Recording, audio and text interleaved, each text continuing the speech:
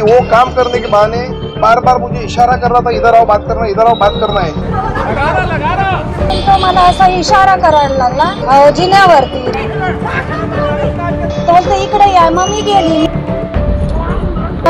तुमचं मीटर ठेवून देऊ का? तर नंतर ना तो माझ्या असा अंगावर आला. लेकिन उसने उसके पैंट का वगैरह कुछ चेन वगैरह खोला ऐसा वो महिला बोल रही है। अभद्र शब्द ह्यांना वापरत होता त्याच्यामुळे मी बोलले हे काय? अरे लगा रहा हूँ तर माझं सुद्धा त्याने ब्लाउज पाडलं जो डायरेक्ट घर में लोगों के घुसते हैं बिना परवानगी। तो महत्वपूर्ण बात है कि वो महिला है। आणि कारवाई करता हे, अतिशय चुकीचं ही काय ब्रिटिश कंपनी का?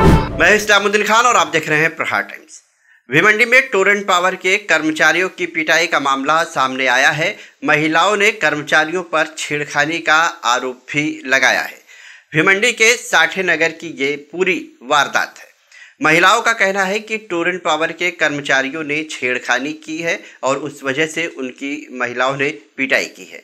वहीं मीडिया रिपोर्ट्स के मुताबिक टोरेंट पावर की तरफ़ से कहा जा रहा है कि मनपा ने एक धोखादायक इमारत घोषित किया था और उस इमारत की बिजली कनेक्शन काटने के लिए टोरेंट पावर के कर्मचारी गए थे और महिलाओं ने मारपीट की है। वहीं टोरेंट पावर के तरफ़ से मारपीट करने वाली महिलाओं और एक मन से नेता मनोज कुलवी पर तीन सौ तिरपन, तीन सौ बत्तीस, तीन सौ तेईस, पाँच सौ चार, पाँच सौ छः एक सौ इकतालीस, एक सौ तिरालीस, एक सौ छियालीस, एक सौ सैंतालीस, एक सौ उनचास के तहत मामला दर्ज किया गया है नारपुरी पुलिस स्टेशन में। वहीं ये भी खबर सामने आ रही है कि टोरेंट पावर के कर्मचारियों पर भी शिकायत दर्ज करवाई जाएगी। महिलाओं ने इस पूरे मामले को लेकर मीडिया में क्या जानकारी दी है आपको सुनाते हैं। तिथे ते आले होते त्यांचं ते काम करत होते टोरंटचे ते डबे काढत होते मीटर वगैरे. आणि नंतर ते वायर काढायला लागले. तर तिथून तो मला असा इशारा करायला लागला जिन्यावरती. तर मी दुर्लक्ष केलं त्याच्यावर. तर वापस तो परत असं करायला इशारे वगैरे क- करायला लागला.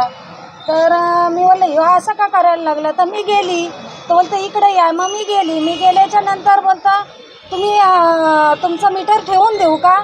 तर मला मी म्हणजे संकटात पडली असं का मीटर ठेवून देऊ का? असं बोलायला लागलं. तर नंतर ना तो माझ्या असा अंगावर आला आणि चैन पॅन्टीची चैन वगैरे खोलायला लागला ना असा अंगावर असा आला. तर मला एकदम भीती वाटली तर या ताई तिकडनं जात होत्या त्यांना मी आवाज दिला ताई इकडे या म्हणून. असं मी बघायला लागले पब्लिक जमा झालेली होती. तर तो अभद्र शब्द ह्यांना वापरत होता. त्याच्यामुळे मी बोलले हे काय? तर माझं सुद्धा त्याने ब्लाऊज पाडलं आणि बटनाचे बटन वगैरे तुटले माझे. आणि आणि हे बघा हा. ब्लाऊजचे असे जर असं जर महिलांवरती अत्याचार होत जर असेल तर त्याच्यासाठी काय? नाही आम्ही सहन करणार नाही यांचं असं आम्ही सहन करणार नाही. यांच्या पण बोटाला लागलं काय केलं कसं कशा मुले लागलं ते पण आम्हाला कळलं नाही. यांना एवढं लागलंय. अभी अभी भिवंडी में माहौल ऐसा है। एक तो हम लोगों ने टोरंट को पहले निवेदन दिया है। निवेदन में ये भी उल्लेख किया है कि आपके कर्मचारी वगैरह जो डायरेक्ट घर में लोगों के घुसते हैं, बिना परवानगी महिला की छेड़छाड़ करते हैं, लिखित दिया है पंद्रह दिन पहले। और आज जब मुझे मालूम पड़ा कि ऐसे ऐसे महिलाओं को ये किया है, मैं, वो महिला मनसे की है, क्या और पार्टी की है? वो न देखते हुए एक भिवंडी की महिला है। ये ये तो महत्वपूर्ण बात है कि वो महिला है। तो कौन से पक्ष की है, कौन से जात की कौन से धर्म की इसको मैं बिल्कुल सहमति नहीं देता हूँ। लेकिन जो कृत्य हुआ है, जो महिला ने बोला है कि वो काम करने के बहाने बार बार मुझे इशारा कर रहा था, इधर आओ बात करना, इधर आओ बात करना है। फिर वो जो महिला, शुरुआत में उसको नकारा रही थी, लेकिन जब गई उसके पायरी के नीचे तो मैं अभी मीडिया के सामने नहीं बोल सकता हूँ। कि उसने क्या हरकत की, लेकिन उसने उसके पैंट का वगैरह, कुछ चेन वगैरह खोला, ऐसा वो महिला बोल रही है। और वो महिला को लज्जा होएगी, ऐसा कृत्य किया है। तो फिर उधर से जाने वाली जो ये सब महिला थी, वो जाने वाली महिला ये सब है, वो रास्ते से गुजर रही थी, उसने फिर दिया, प्रसाद दिया। तो मैं अपील करना चाहता हूँ, सब टोरंट के लोगों को, पुलिस प्रशासन को, कि ऐसी अगर घटनाएँ होती है तो घटना नहीं होनी चाहिए।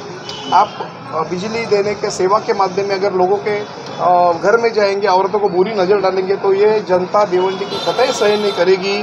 तो ऐसी विनती है कि आगे ऐसा ऐसी घटना ना हो।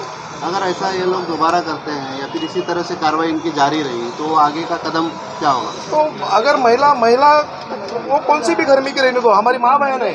अगर भिवंडी की किसी भी माँ बहन के ऊपर कोई बुरी नज़र डालता है तो हम क्यों सहन करें?